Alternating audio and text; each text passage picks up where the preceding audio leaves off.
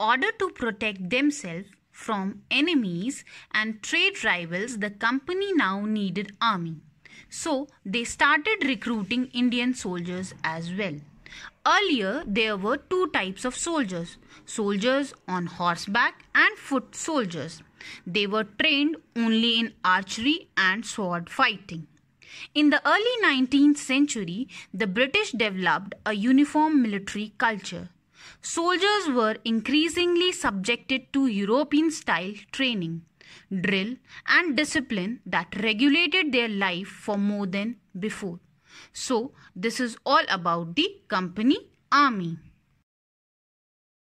Let's read about Tipu Sultan, the tiger of Mysore.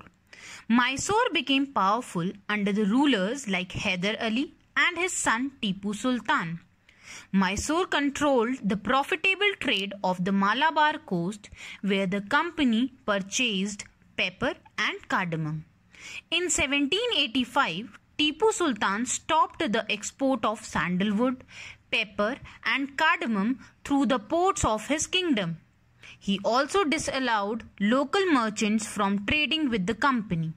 He established a closed relationship with the French traders and modernized his army with the help of the French.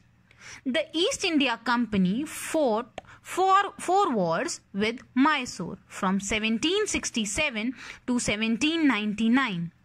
Only in the last battle, the Battle of Seringapatam, the company ultimately won the war.